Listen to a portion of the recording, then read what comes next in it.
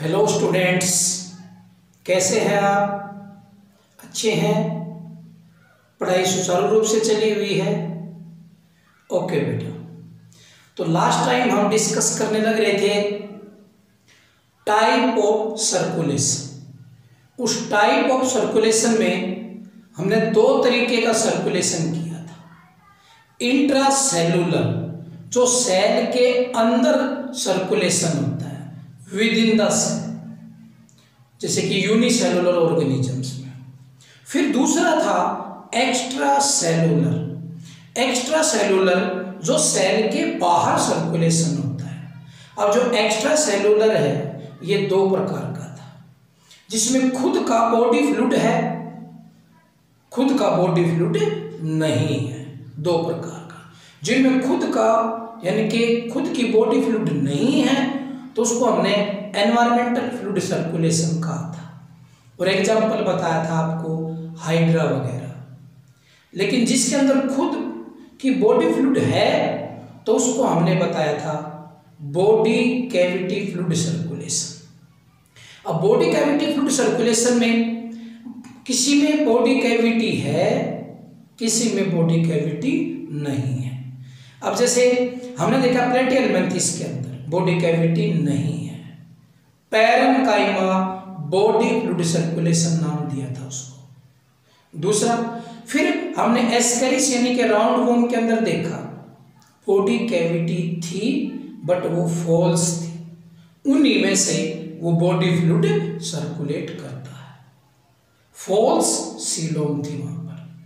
फिर तीसरा था ब्लड वस्कुलर सिस्टम जो आज का हमारा फिर उसके बाद हम डिस्कस करेंगे लिम्फ वस्कुलर सिस्टम तो आज का टॉपिक है ब्लड वस्कुलर सिस्टम तो ये मैंने पहले भी आपको बताया था कि ये हायर ऑर्गेनिजम्स की कैरेक्टरिस्टिक्स है. किसकी? हायर ऑर्गेनिज्म की. It is the characteristics of higher organism higher organism higher organism जो बड़े ऑर्गेनिज्म है, उनकी कैरेक्टरिस्टिक्स है। इट कंप्राइज या कंसिस्ट थ्री पार्ट्स इसके तीन अद्भुत पार्ट्स होते हैं। नंबर एक blood vessels blood vessels number दो ब्लड और नंबर तीन, हार्ट।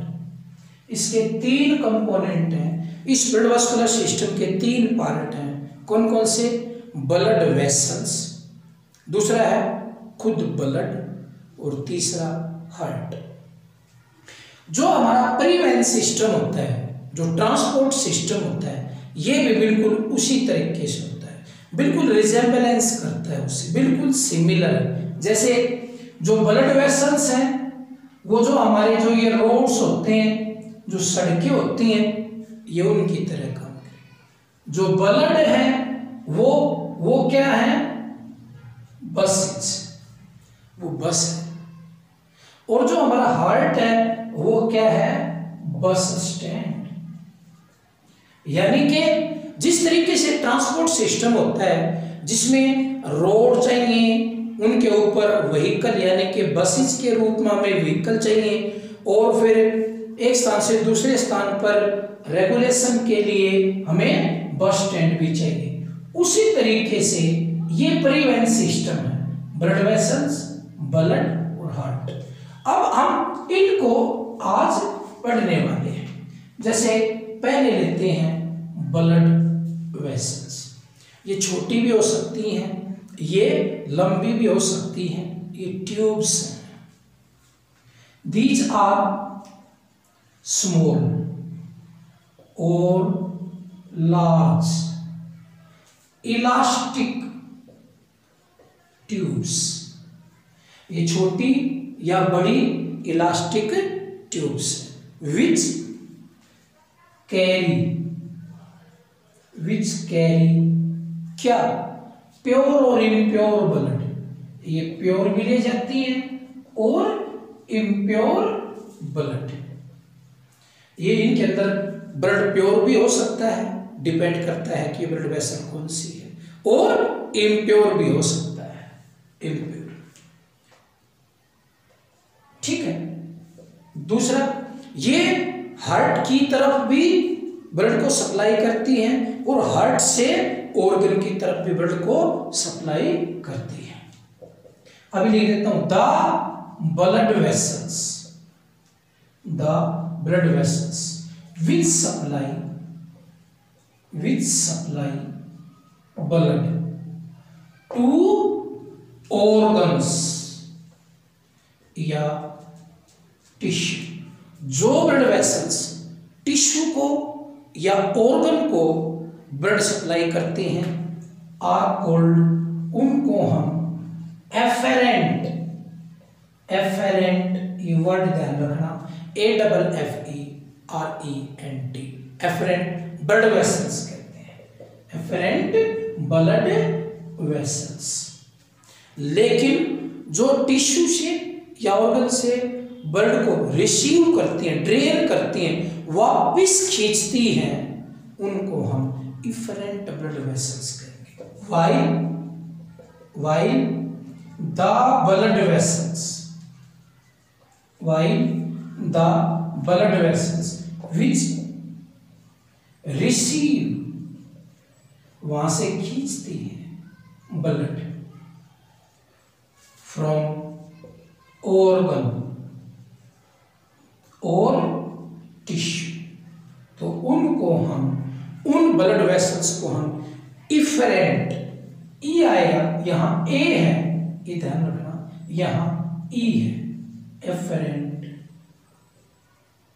ब्लड वेसल्स इफरेंट और एफरेंट ब्लड वेसल्स तो एक ऑर्गन को सप्लाई करने वाली ब्लड वेसल्स एक ऑर्गन से ब्लड को लेने वाली ब्लड वेसल्स तो वो हो जाएँगी इफरेंट और एफरेंट ब्लड वेसल्स ये जो ब्लड वेसल्स हैं, ये मुख्यतः तीन टाइप्स की होती है।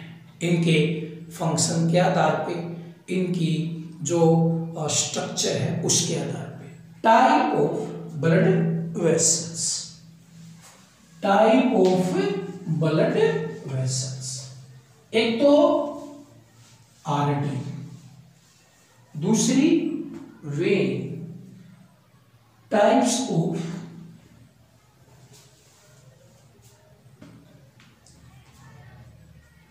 types of blood vessels number एक आर्टरीज प्लूरल है आर्टरी एक होती है आर्टरीज ये प्लूरल बन गया। ज़्यादा आर्टरीज दूसरा वेन्स और तीसरा, इन्हीं की फाइन ब्रांचेज होती हैं। आर्टरी की भी फाइन ब्रांच और वेन की भी जो फाइन ब्रांचेज होती हैं, उनको कैपिलरीज कहते हैं। क्या कहते हैं? कैपिलरीज कैपिलरीज ये कैपिलरीज जो हैं ये इनकी फाइन ब्रांचेज है। अब जो आर्टरी और जो वेन है आर्टरी और वेन को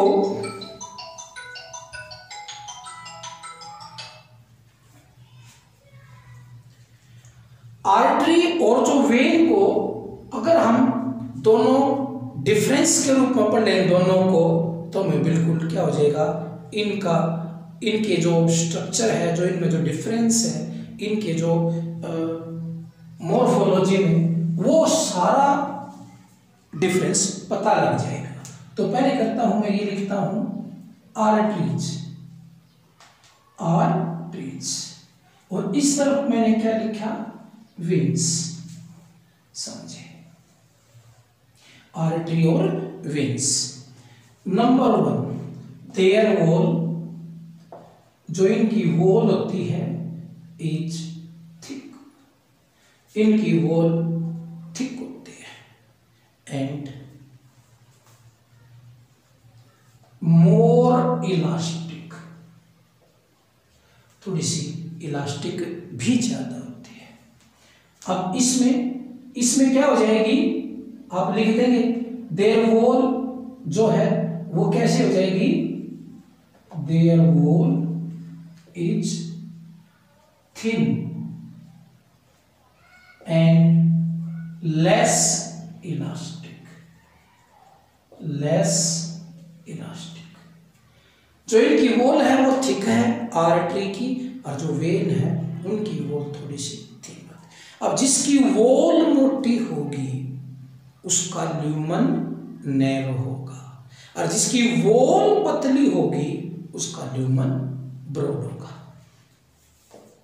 Their lumen is narrow their lumen is broad lumen का, जैसे मान लीजिए, ये अगर, ये दीवार अगर मोटी है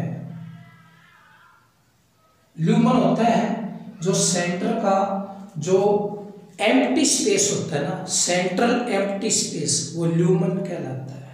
अगर इसकी दीवार अगर पतली है, देखो, अब ये बताओ कि किसकी दीवार मोटी है? इसकी दीवार मोटी है।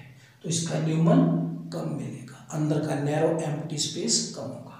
इसकी दीवार पतली है। इसका ल्यूमन अंदर का जो खाली स्थान है वो ज़्यादा होगा। ल्यूमन ये पॉइंट अगला, हम इसकी, हम ब्लड वेसल की स्ट्रक्चर भी करेंगे तो ये और भी अच्छे तरीके से क्लियर हो जाएगा इन दोनों के बीच में डिफरेंस अब ये खास इसको इंपॉर्टेंट लिखे इस पॉइंट को। These carry these carry pure blood ये कैसा ब्लड लेके जाती है? आर्टरी प्योर बट एक आर्टरी ऐसी है जो प्योर नहीं लेके जाती। एक है वो। कौन सी है?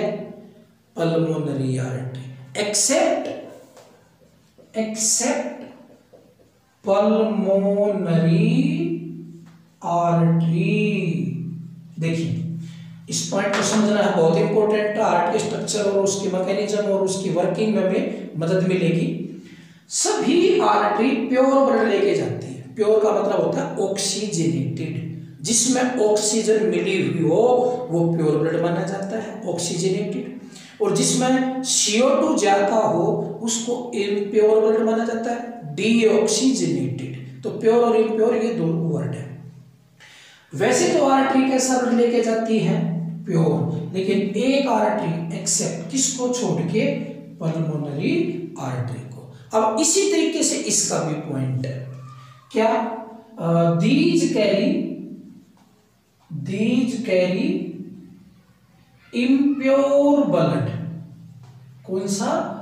इम्प्योर ब्लड एक्सेप्ट एक्सेप्ट कौन सी? पल्मोनरी वेन पल्मोनरी वेन अब इस पॉइंट को बहुत ज़रूरी समझना है आपने।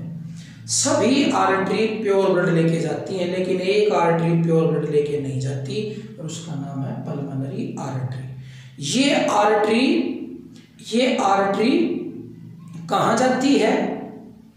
लंग्स में। अब लंग्स में कैसा लेके जाएगी ये? इम्प्योर लंग्स करेगा उसको प्योर तो अकेली आर्टरी जो लंग्स में जाने वाली जो आर्टरी है, जो लंग्स में जाने वाली जो आर्टरी है, वो इम्प्योर लेके जाएगी। उसका नाम है पल्मोनरी आर्टरी बाकी सारी आर्टरी प्योर सेम सारी जो वेन है वो कैसा लेके जाएँगी? इम्प्योर लेकिन जो लंग्स से आने वाली वेन है, उसका क्या नाम है? पल्मोनरी वेन वो कैसा लेके आएगी? प्योर तो ये एक्सेप्शन है यहाँ पे। डेफिनेशन की अगर बात की जाए आर्टरी और वेन की तो आपको बताना है, जो हार्ट से दूर लेके जाएगी blood away from the heart वो आर्टरी मानी जाएगी। और जो टुवर्ड हार्ट आए हार्ट की तरफ़ आए तो वो क्या मानी जाएगी? वेन अगला पॉइंट बहुत important these carry blood away from the heart away from the heart और ये these carry blood toward the heart लिख दो ऐसे these carry blood toward the heart ये हर्ट की तरफ़ लेके जाएँगी, ये हर्ट से दूर लेके जाएगी। बहुत इंपॉर्टेंट पॉइंट हम अपनी बॉडी के अंदर देखते हैं जैसे, जो हमें ऊपर दिखाई देती है ना, जैसे ऊपर सुपरफिशियल वो वेन होती है या आर्टरी वो वेन होती है। और जो डीपली सीटेड होती हैं, अंदर होती हैं टिश्यू के अंदर मांस के अंदर, जो हमें दिखाई नहीं देती, वो आर्टरी होती है। These are deep seated these are deep seated ये अंदर की तरफ़ होती है। और ये कैसी होंगी? दीज आर सुपरफिशियल सुपरफिशियल ये बाहर से दिखाई देंगे हमें जो ये जैसे दिखाई देती हैं, ये वाली ये दिखाई देने लग रही है, ये ये क्या है? वेन है ये, जो जिसमें ग्लूकोज लगाते हैं। डॉक्टर इंट्रावेनस देते हैं यानी कि वेन में डालते हैं और वेन बाहर होती है सुपरफिशियल फिशियल सुपरफिशियल अगला इनमें वोल्स नहीं होती। हैव नो वोल्स यानी कि मान लीजिए ये क्या है? आर्टरी तो इसमें इस तरीके की ये वोल्स नहीं होती। बहुत इंपॉर्टेंट पॉइंट ये वोल्स नहीं होती। हैव वोल्स हैव वोल्स और इनमें बहुत सारी वोल होती हैं। तो इसमें ये, हम इसमें मिटो देंगे, इसमें ये नहीं होती और इसमें ये ये वोल्स होती है। ठीक है। अच्छा ये बताओ, जब डेथ हो जाती है किसी ऑर्गेनिज्म की तो आर्टरी और ब्लड जो आर्टरी और सॉरी वेन दोनों में ब्लड है तो किस ब्लड वेसल का जो ब्लड है वो पानी बन जाता है? अगला पॉइंट किसका बन जाता है? शाबाश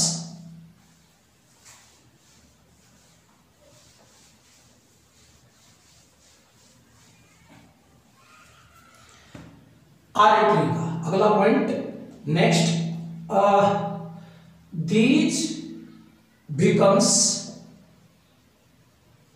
these becomes empty E M P T Y after death जैसे ही ऑर्गेनिज्म की डेथ होती है तो इन जो आर्टरी में जो ब्लड होता है ना, वो पानी बन जाता है मतलब कहने का मतलब वो खाली हो जाती है। लेकिन इनमें क्या रहेगा? Blood veins blood remains present even after death death के बाद भी ये खाली नहीं होती और इनमें क्या प्रेजेंट होता है? ब्लड रहता है। अच्छा ये बताओ प्रेशर किसमें ज़्यादा मैं ये ज़्यादा से ज़्यादा डिफरेंस इसलिए करवाने लग रहा हूँ। जितने ज़्यादा आर्टरी और वेन में आप डिफरेंस बता पाओगे हार्ट के टॉपिक को उतना जल्दी सीख पाओगे। ठीक है? तो अगला जो डिफरेंस है here pressure of blood is high और हियर जो प्रेशर है ब्लड का, वो क्या है भाई? Pressure sentence as it is कैसा है? लो कैसा है? लो है। दूसरी बात, यहाँ फ्लो ऑफ़ ब्लड जो ब्लड का जो फ्लो है इज़ फास्ट जो ब्लड का जो फ्लो है, वो तेज गति से फ्लो करता है। यहाँ कैसा है वो? जो फ्लो है ब्लड का, वो कैसा है? स्लो कैसा है? स्लो ठीक जो लार्जेस्ट आर्टरी है, उसका क्या नाम है? लार्जेस्ट आर्टरी लार्जेस्ट आर्टरी का नाम है कौन सा? एओर्टिक आर्च एओर्टिक आर्च क्या नाम है? एओर्टिक आर्च या systemic arch C H aortic arch या एओर्टा सबसे बड़ी जो आर्टरी है, जो हार्ट से निकलती है एओर्टिक आर्च सबसे बड़ी जो वेन है, जो लार्जेस्ट जो वेन है, उसका क्या नाम है? Vena cava vena cava. Vena cava भी कह सकते हैं। तो वेना केवा लार्जेस्ट वेन है और एओर्टिक आर्च लार्जेस्ट आर्टरी है। इसको सिस्टेमिक आर्च या एओर्टा भी बोलते हैं। ये भी पॉइंट आप जब हार्ट की स्ट्रक्चर करेंगे तो उसमें ये आएगा। तो ये कुछ डिफरेंस थे आर्टरी और वेन के अंदर। अगर इसके अलावा भी आपको कोई और डिफरेंस मिले तो और भी आपको क्या होगी? मदद मिलेगी। ऐसा नहीं है कि यहाँ पर ख़त्म हो जाते हैं बट हमने इन डिफरेंसेस को, इनको डिस्कस किया है, जो हमें हार्ट का टॉपिक समझने में भी मदद करेंगे। तो ये था हमारा आर्टरी और वेन के बीच में डिफरेंस अब एक और बात है। अब हम ये आर्टरी और वेन अगर आप समझें तो ये दोनों है क्या? ये तो ब्लड वेसल्स है ना ब्लड वेसल्स तो ब्लड वेसल की स्ट्रक्चर कैसे होती है?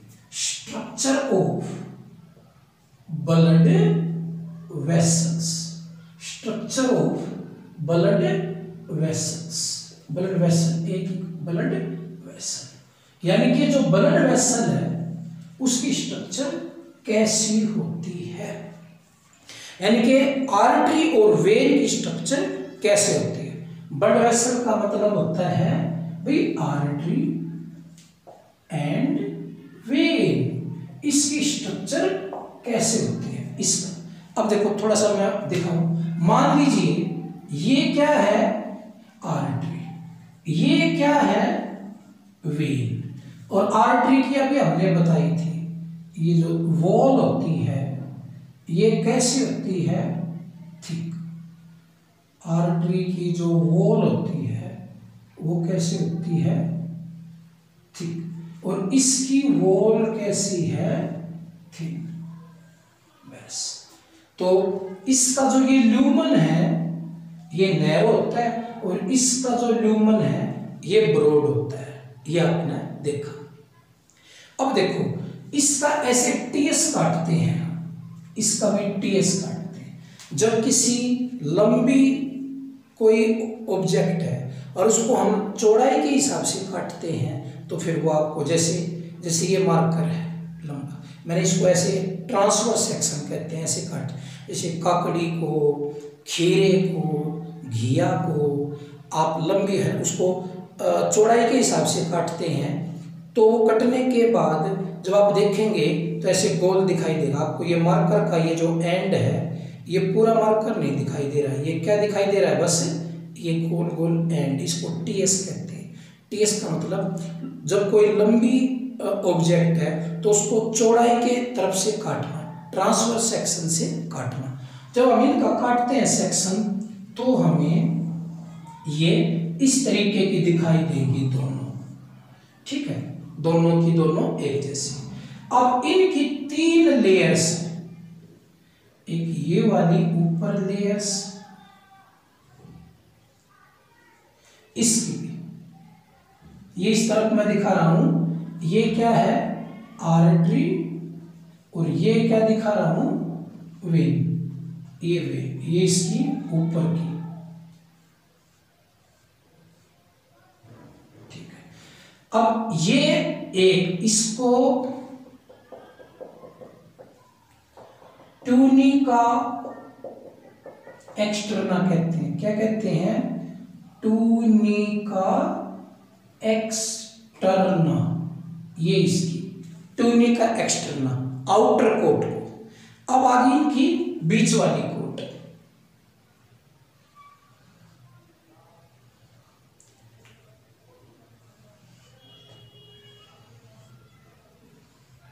ये वाली।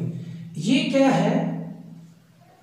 Tunica media.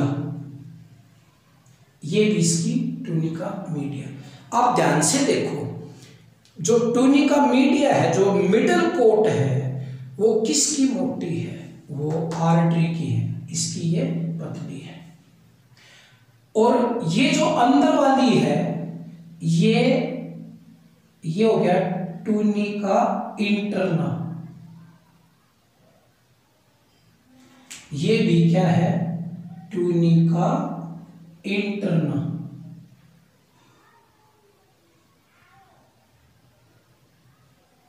अब ध्यान से देखो, इस ये टूनी का जो इंटरना मैंने दिखाई, पहले इसका नाम लिखते हैं। ये है टूनिका टूनिका का मतलब होती है कोट टूनिका वर्ड कहीं पर भी मिल जाए आपको बायोलॉजी में। उसका मतलब होता है कोट, उसका मतलब होता है कवरिंग उसका मतलब होता है सीट उसका मतलब होता है लेयर तो टूनिका वर्ड यूज़ करते हैं। टूनिका इंटरना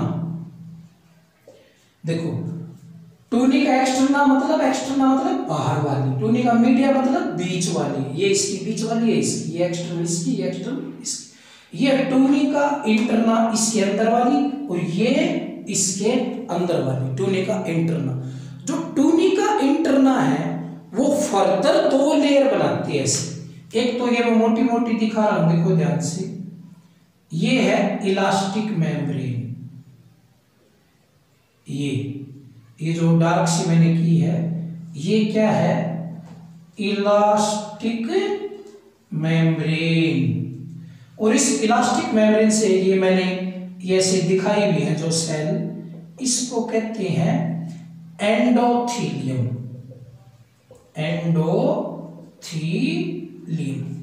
यानी कि जो टूनिका इंटरना है, वो फर्दर दो लेयर से बनी है। एक ये बाहर वाली लेयर, इसका नाम है इलास्टिक मेम्ब्रेन। इसमें वाइट और येलो इलास्टिन फाइबर होते हैं। और इस इलास्टिक मेम्ब्रेन के नीचे ये एक और लेयर्स है ये जो सेल्सी सेल्सी मैंने दिखाई उसको क्या कहते हैं? एंडोथीलियम यानी कि एंडोथीलियम सबसे अंदर वाली लेयर उसके ऊपर इलास्टिक मेम्ब्रेन ये दोनों मिलके एंडोथीलियम एंड इलास्टिक मेम्ब्रेन दोनों मिलके क्या बनाती हैं? ट्यूनिका इंटरना इसमें भी सेम ऐसे ही है. ये क्या है? इलास्टिक मेम्ब्रेन और ये क्या है? Endothelium endothelium endothelium and elastic membrane दोनों मिलके सबसे अंदर वाली कोट बनाती हैं। और अंदर वाली कोट को हम क्या कहेंगे? ट्यूनिका इंटरना क्या नाम है? ट्यूनिका इंटरना ठीक। अब इसमें मुख्य बात ख्याल देखने योग्य बात ये है? ये अंदर वाला पोर्शन है, ये इसका अंदर वाला। वैसे तो ये एक जैसी दिखाई दे रही ये भी ये भी देखो आप। ये दोनों दिखाई देने लग रही है एक जैसी है। इतनी ही ये है, इतनी। लेकिन अंतर फिर कहाँ आया? अंतर आया, जो आर्टरी है, उसका ये ल्यूमन होता है। अंदर वाला जो खाली स्थान है, जैसे ये पेन है, ये पेन की कैप है। इसका ये जो अंदर वाला जो पोर्शन है, ये खाली वाला, ये ये ल्यूमन है। अंदर वाला एम्प्टी स्पेस ल्यूमन मैंने पहले बताया था। इसका ल्यूमन नैरो है। ल्यूमन क्या है? नैरो और इसका ल्यूमन कैसा है? रोड वाइड ठीक। यानी कि आर्टरी की जो दीवार है वो मोटी है, इतनी मोटी। वेन की दीवार पतली है। हमने आर्टरी और वेन में डिफरेंस किया। किसकी दीवार मोटी थी? आर्टरी की। दिख रहा है। किसकी पतली थी? वेन की। दिख रहा है। ल्यूमन किसका नैरो था? आर्टरी का। लिखवाया था। और ल्यूमन किसका ब्रॉड है? वेन का। लिखवाया था। वो वो बात और ये बात दोनों यहाँ पर। अब इसमें जो टूनी का मीडिया है, ये मोटी है। और इसमें ये जो टूनी का मीडिया है, ये पतली है। और इस टूनी का मीडिया में स्मूथ मसल्स होती हैं। क्या होती हैं? स्मूथ मसल्स ये जो मैंने दिखाई है, ये स्मूथ मसल्स ये भी एक कंपटीशन का क्वेश्चन बनता है. Smooth muscles in which coat in which tunica of blood vessel smooth muscles are present tunica media और ये स्मूथ मसल ये जो मसल है, ये सर्कुलर पैटर्न में अरेंज है. ऐसे देखो ये सर्कुलर इसमें भी स्मूथ मसल्स। इसकी भी टूनिका मीडिया में स्मूथ मसल्स, सर्कुलर पैटर्न में ही अरेंज है। अंतर क्या है फिर? यहाँ ज़्यादा स्मूथ मसल्स हैं, जिसके कारण टूनिका मीडिया मोटी हो जाती है। यहाँ पर स्मूथ मसल्स हैं सर्कुलर अरेंजमेंट में हैं लेकिन वो थोड़ी सी कम है, जिसके कारण ट्यूनिका मीडिया की जो थिकनेस है, जो मोटाई है, वो कम हो जाएगी। बस यही कारण होता है, इसका ल्यूमन बड़ा बन जाता है और इसका ल्यूमन नैरो बन जाता है। ठीक है? तो ये स्ट्रक्चर ऑफ़ ब्लड वेसल हमने आर्टरी और वेन दोनों को टीएस काट के देखा और कुछ ये पाया। तीन कोट होती हैं tunica external tunica media and tunica internal अब ये फ़ोटो देखे आपने, आरटी और वेन में जो डिफरेंस आपने किया ना, उन दोनों के नीचे, इन दोनों के फ़ोटो बना देंगे ताकि और भी हम डिफरेंस लिख सके। अब ये हो गए दोनों। अब देखो थोड़ा सा, ये अब मैं जो स्ट्रक्चर ऑफ़ ब्लड वेसल्स है, अब इसकी जब हम टीएस देखते हैं तो तीन कोट होती हैं। टूनिका एक्सटर्ना टूनिका एक्सटर्ना अब टूनिका एक्सटर्ना बताओ, कैसी है ये? आउटर कोट है, ठीक? ये लूज कनेक्टिव टिश्यू से बनी हुई है प्लस लूज कनेक्टिव टिश्यू के साथ साथ इसमें वाइट एंड येलो फाइबर्स है। और ये प्रिवेंट करती है। Prevent from rupturing from rupturing outer coat है लूज कलेक्टिव टिश्यू की बनी हुई है, उसके साथ yellow and white elastin fibre होते हैं और ये ब्लड वेसल को फटने से बचाती है। दूसरा, टूनी का मीडिया बीच वाली लेयर ये मिडल कोट है।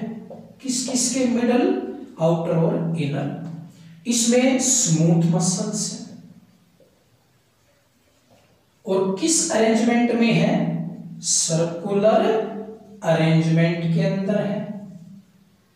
सर्कुलर अरेंजमेंट के अंदर मसल्स होती हैं। और जो तीसरी हमारी लेयर है, वो है टूनिका इंटरना इसकी दो लेयर्स थी। एक तो इलास्टिक मेम्ब्रेन और दूसरा एंडोथीलियल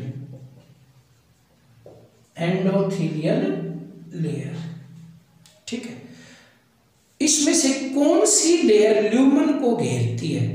एंडोथीलियल फिर यह अंतर आ जाता है, किस टूनिका मीडिया किसकी थिक होती थी? आर्टरी की. और इलास्टिक मेम्ब्रेन किसकी मोटी है? आर्टरी की. वो हमने आपको अभी डिफरेंस में बताया था। तो ये ट्यूनिका मीडिया ट्यूनिका एक्सटर्नल और ट्यूनिका इंटरनल ये डायग्राम ये उनकी कुछ बातें तो ये था structure of blood vessels blood vessel की स्टडी को क्या कहते हैं? बताएँ। Study of blood vessels study of blood vessels अरे भाई, एक तो कोई डॉक्टर बनेगा आप में से। तो थोड़ी सी ज़्यादा जिज्ञासा के साथ आए सीखें ढूंढें। मैं बताऊँगा आप बता दोगे चलो मैं बताता हूँ। एनजियोलॉजी क्या कहते हैं?